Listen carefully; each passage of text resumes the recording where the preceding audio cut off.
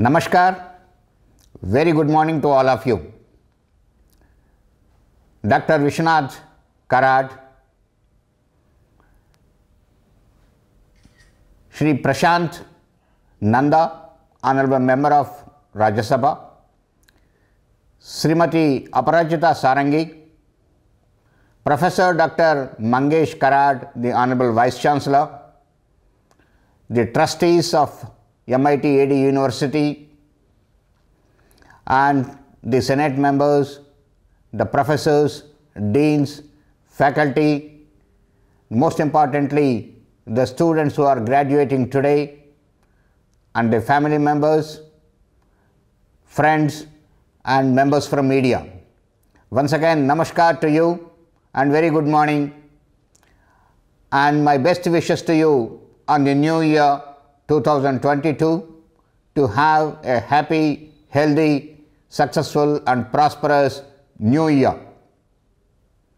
I am extremely happy to be present here on the occasion of the fourth convocation of MIT ADT University.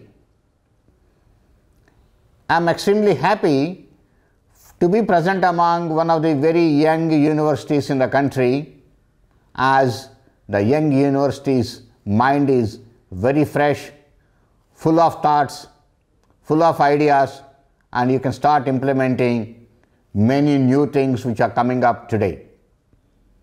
So, you people, you will be able to drive many new things in the technological era of the coming years.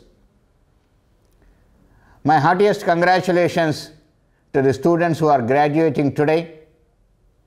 It is the efforts of you over the years, along with the, the teaching faculty here and your parents who have been supporting you all these years, the efforts of them are culminating today when you receive the graduation certificates from the university today.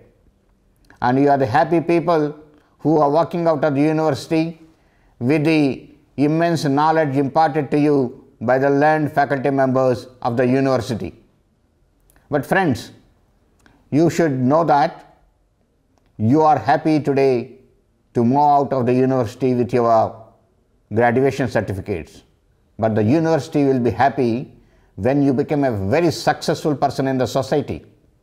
When you achieve something, when you become a great engineer, when you discover something, and when you high, reach a high position, that is the day when the university celebrates your success and all your teaching members who are present here who taught you will be very delighted to know your success.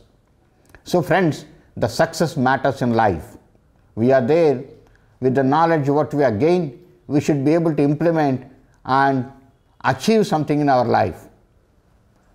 Dr. Kalam, who was the former President of India, has always been saying that think big and try to achieve something very big.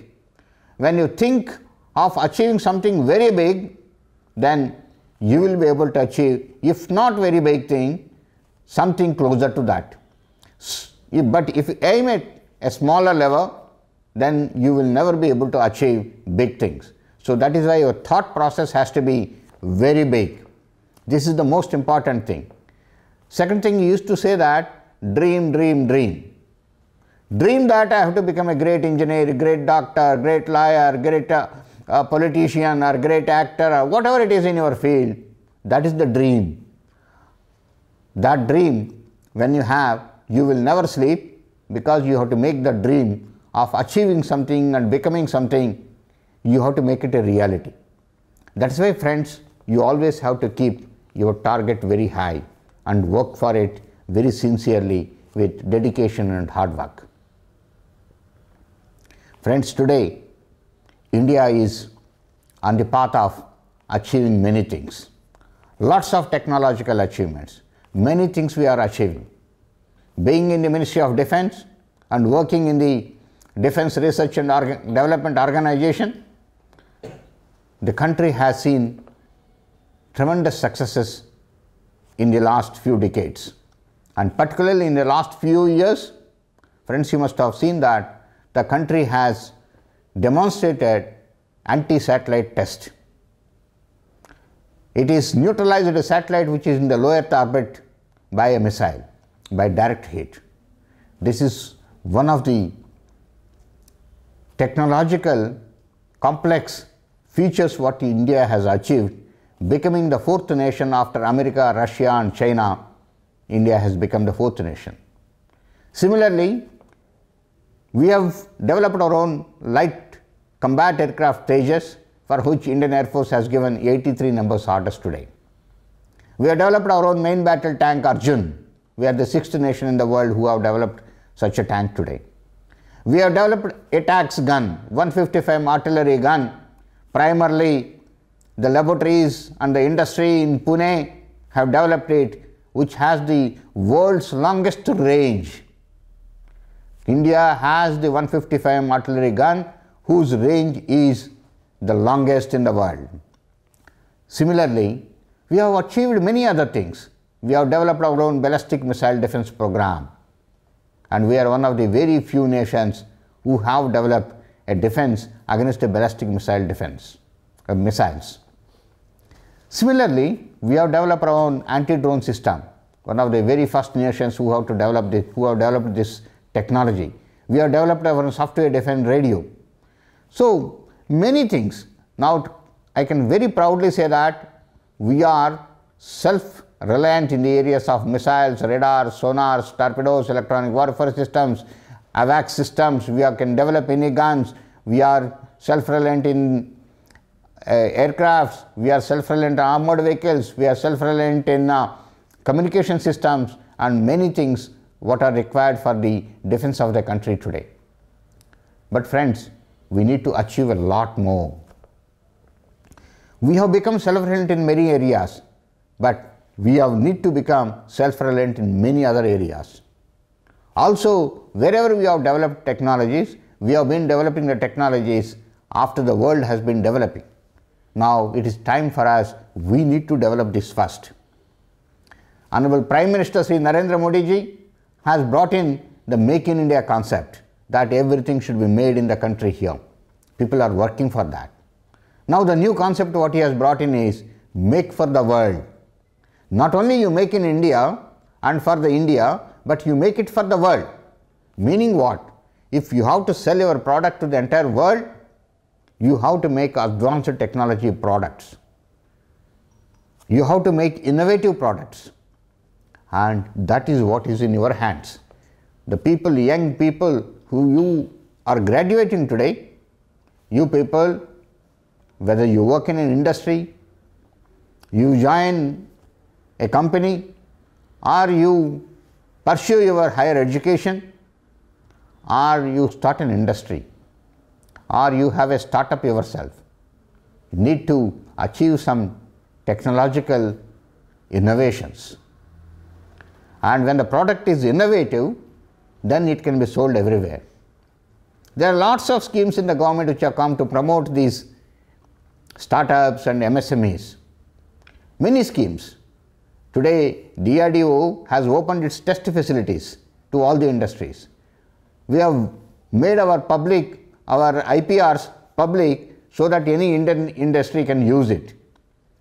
The technology transfer philosophy of DRDO has changed, wherein now the industry is joining right at the development stage it, itself with DRDO to work with them so that they will have the know-how and know-why simultaneously.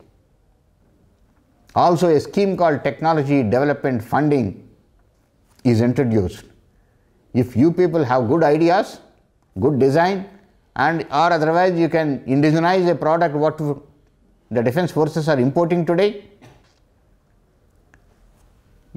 If you have a good design, we are ready to fund up to 10 crore rupees to you for you to develop that product. So, number of industries coming forward. There are more than about 42 industries have been funded with this. There is another con contest called Dare to Dream in defined verticals. If you are coming out with good ideas in that and good idea will be awarded and rewarded. A number of people who have been rewarded, the scheme is going on now.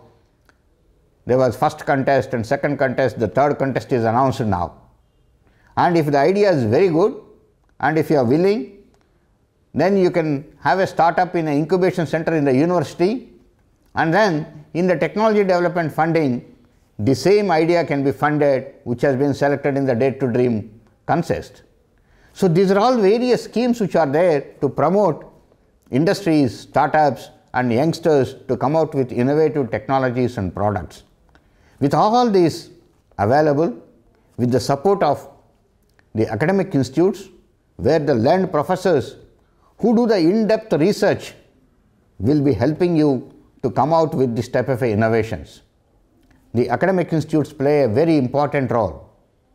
They are the ones who do the core research and come out with technological challenges and innovations. And they, that is the place where the basic research and applied research happens. And universities are the actually basic building blocks in any technological achievement of any country.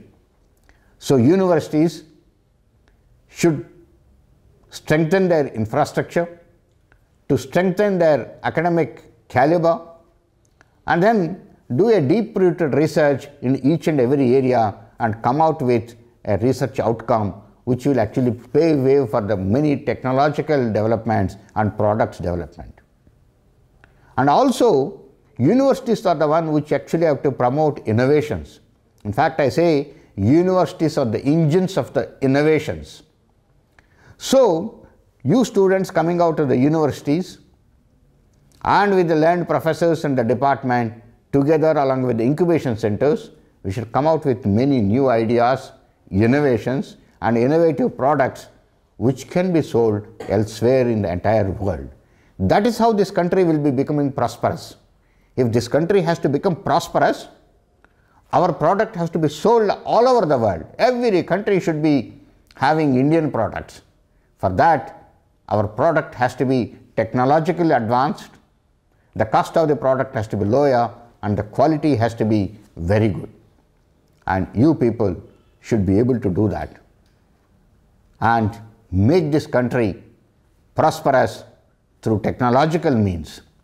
And that is what the academic institutes, R&D organizations like DRDO and industries together synergetically should do and make this country very prosperous and make this country flag fly high over the entire world. My best wishes to all of you once again and congratulations on the fourth convocation of the university and Jai Hind, Namaskar.